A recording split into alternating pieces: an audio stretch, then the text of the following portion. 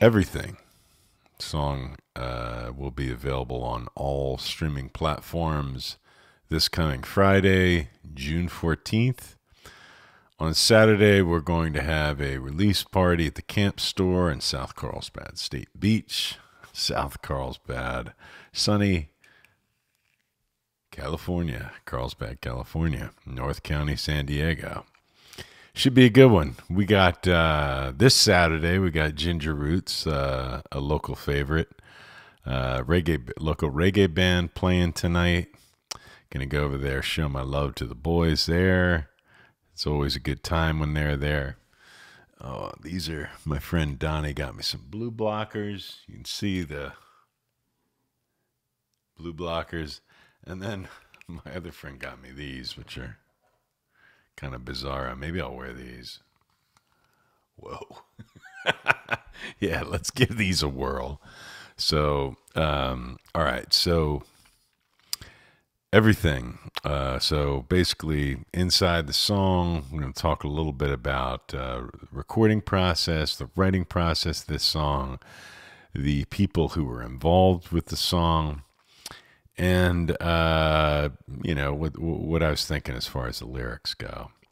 Now, this song is really interesting because a lot of times when I am just kind of looking to mix it up, I'll go back into my archives of older work.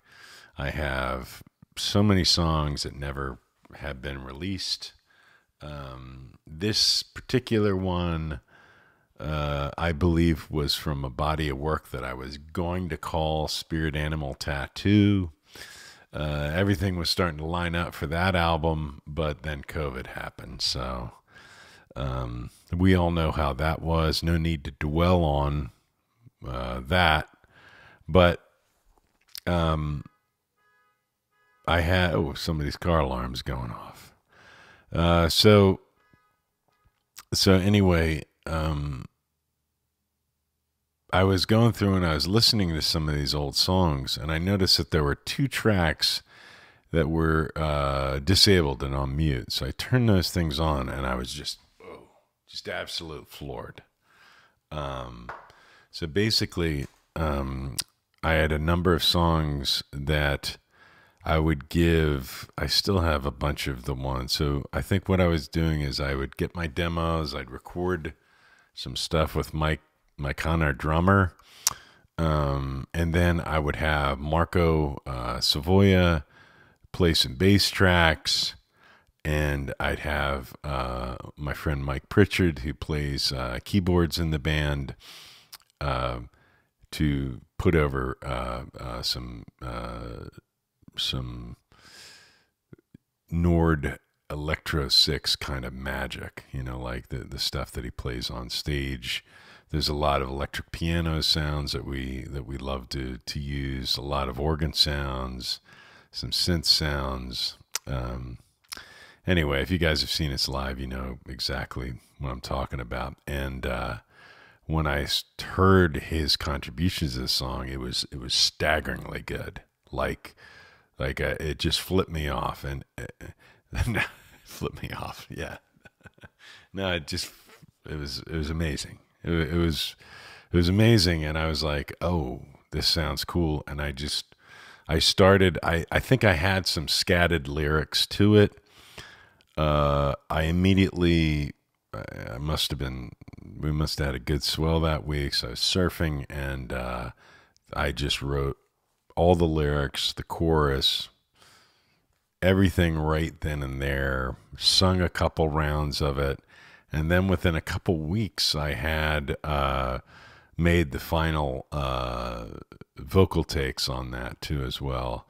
There was some back and forth that we had because um,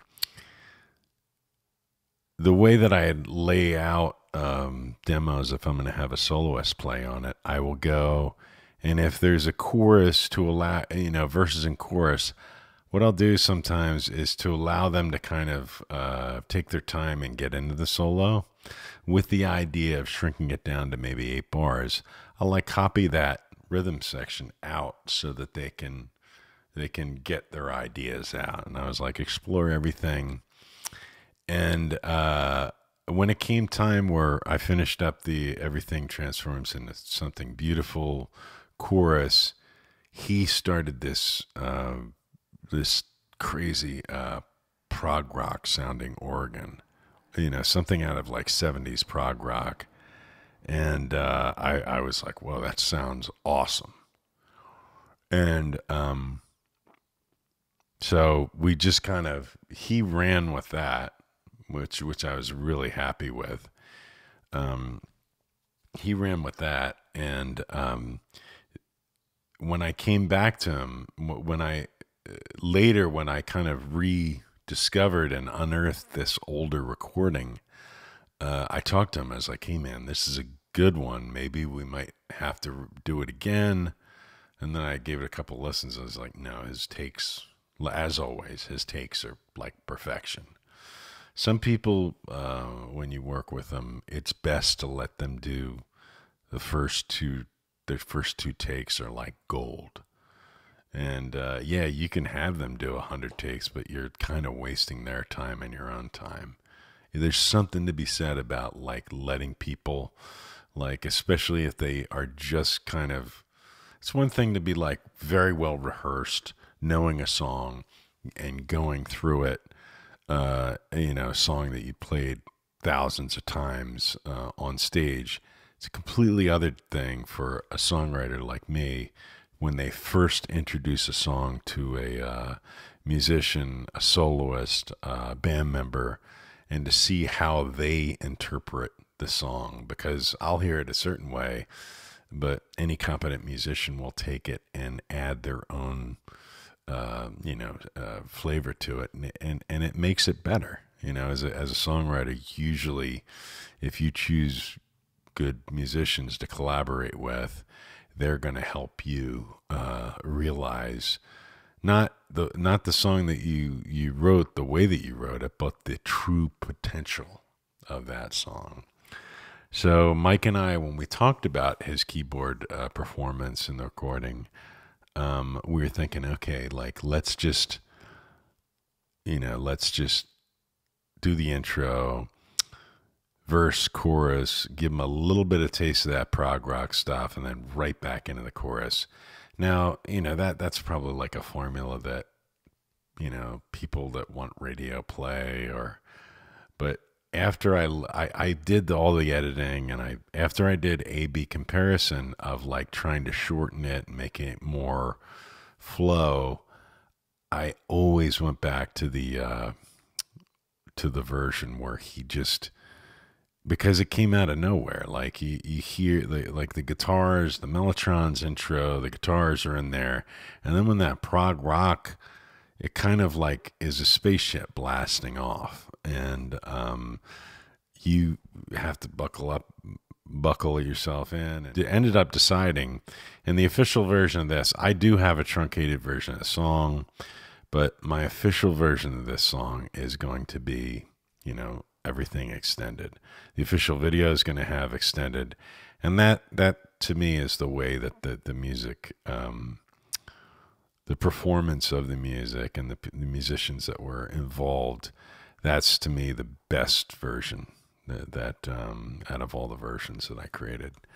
Um, so uh, talking about the uh, official music video, uh, there's a lot of footage of surf trips that I've been on in Indonesia on a boat called the Addiction. Uh, wonderful people. Um, Jeannie is an amazing. Uh, Jeannie LaRosa is amazing uh, videographer. He had drones. He's in the water with us. Amazing surf photographer. Um, uh, so that's we're in. I'm in the lineup on of these. Uh, it's my friends at surfing because he's a, a, way, way, way uh, better surfer than I am. Like the opening sequence is that day. Um, I actually got throttled pretty pretty properly. Uh, brutal hold down, but you know it's one of those things where. Um, you know, I, I drop in the board, do an airdrop, board disappears underneath my foot, just throttled, you know, just the full brunt of the wave hit you. And I remember like being under, being held under and like, you know, your lungs like ready to burst. Like, you need to breathe, man. And like also another thought, like, hey, dumbass, you're gonna, you're gonna drown out here in the middle of nowhere. Get your ass to the surface immediately. And you try to relax as much as possible, man. But the violence sometimes that you get uh, thrown around in down there uh, underwater. The the whole training is you got to relax. You gotta you gotta just take take the beating in stride, and then the second you feel your opportunity to start using your uh, strength to get to the surface, you do it. Uh, it's you, you really gotta you gotta kind of feel like you gotta basically first relax everything, not panic, let the let the wave move you, and then basically as you feel it start to lose its grip on you, you bolt bolt to the surface. Anyway, I remember bolting to the surface and catching another one like right in the face. Like, uh, anyway, so that's that. That's the reason I used uh, Steve Lindgren. Uh, I, I, think is on the majority ones. Um, uh, so is Richard Warner's. He's uh, it's just they're local great surfers, and it's a it's it's a pleasure. It's always like a pleasure for me to watch guys like that surf. Anyway, um, uh, let's talk about the lyrics a little bit. Um, uh, the lyrics kind of wrote themselves, as I as I said. Uh, as soon as I was heard uh, Mike's keyboard performance over top of kind of this demo I laid out, uh, I immediately uh, started thinking of my relationship with surf, the ocean, my my relationship with the sport of surfing, my relationship with the ocean, my relationship with my family, my kids. Um, I feel like I, I, draw a lot of my inspiration and strength from the ocean. Uh, it's testing yourself against the force of nature is um, it's one you know one of uh, if you're a surfer, it's one of life's great challenges. Um, now the first part of the song is really talks about almost like surfing as almost like a almost like a yoga practice where you know the feelings that you have as you're going on like a big day when it's particularly not particularly warm out in the morning cold you're getting into the cold air you're immediately kind of jolted back to your senses and then it's game time it's on. You like have to look and you have to work your ass off to get to the lineup, get out to the lineup, and then you have like this serenity. A lot of times I I think of my ancestors that have passed on before me when I'm out there.